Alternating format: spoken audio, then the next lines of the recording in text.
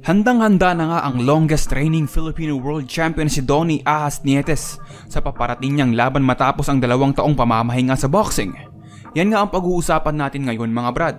Pero bago yan kung ngayon ka palang napadpad sa ating channel ay pindutin mo na ang subscribe at notification bell button para palagi kang updated sa mga videos tulad nito.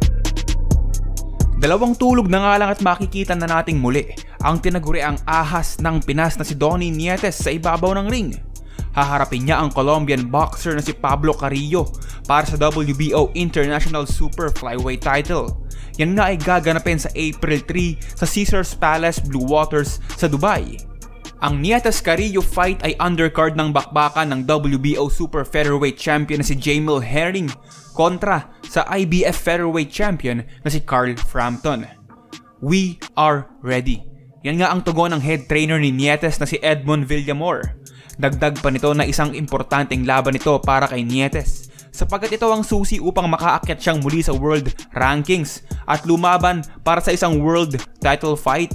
Kung mananalo naman ang Pinoy, ay susubukan niyang habulin sina Chocolatito, Kazudo Ayoka at Juan Francisco Estrada. Matatanda ang huling lumaban si Nietes noong December 2018 at dito ay tinalo niya ang Japanese boxer na si Ayaoka via split decision upang makuha ang bakanteng WBO Super Flyweight title. Sa kabila ng matagal na pamamahinga, ang 38 years old na si Nietes ay talagang pilit na ibinalik ang kanyang kondisyon kung saan ay nakipag-sparring pa nga siya sa mga dati niyang kasamahan sa Ala Promotions na sina Geo Santissima at KJ Katahara. Sa kanyang pagbabalik boxing ay umaasa siya na makaharap man lang ang mga bigating pangalan sa kanyang dibisyon bago siya tuluyang magretiro. Pero sa ngayon ay nakafocus talaga siya kay Carrillo sapagkat alam niya na ito ang magiging hakbang upang mas mapalapit siya sa inaasam-asam niyang laban. Ang 32 years old na Colombian boxer na si Pablo Carrillo ay ang rank number 8 ng WBA may record namang itong 25 wins at 7 losses na may 16 KOs. Dagdag ng head trainer ni Nietes na kailangan nilang mag-ingat sa overhand punch ng Colombiano. Huli nga itong lumaban noong 2019 kung saan ay tinapos niya ang kanyang katunggali sa loob lamang ng limang rounds. Pero alam naman natin ang kalibre netong si Ahas Nietes at sigurado ako na may natitira pang kamandag sa kanyang mga kamao.